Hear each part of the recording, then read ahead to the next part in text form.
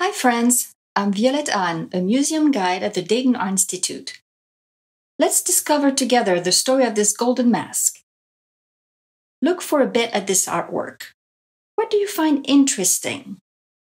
Maybe the shiny metal? Or the eyes with spikes sticking out? Or the elaborate designs around the ears? Or something else?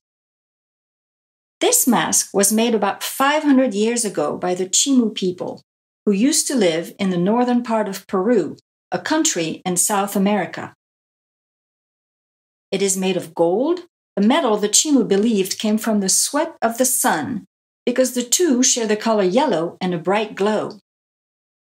Where can you find another color besides gold in the mask? The dark green color you see in the eyes the spikes coming out of them, and the wires attaching everything together are all made of copper. Copper is a metal that starts out as an orangey brownish color, like a brand new penny. After it is exposed to air and humidity for a while, the metal turns green. The fancy name is patina, like you see in the eyes of our mask, or like the Statue of Liberty, which is also made of copper. Can you imagine why this mask would be difficult to wear? Besides the pointy spikes being quite dangerous, there are no openings to see through the mask.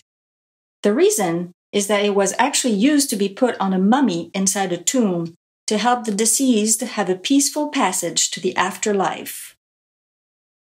It is thanks to this practice of leaving objects in tombs, common in many ancient civilizations, that we learn how people in ancient times lived and what was important to them.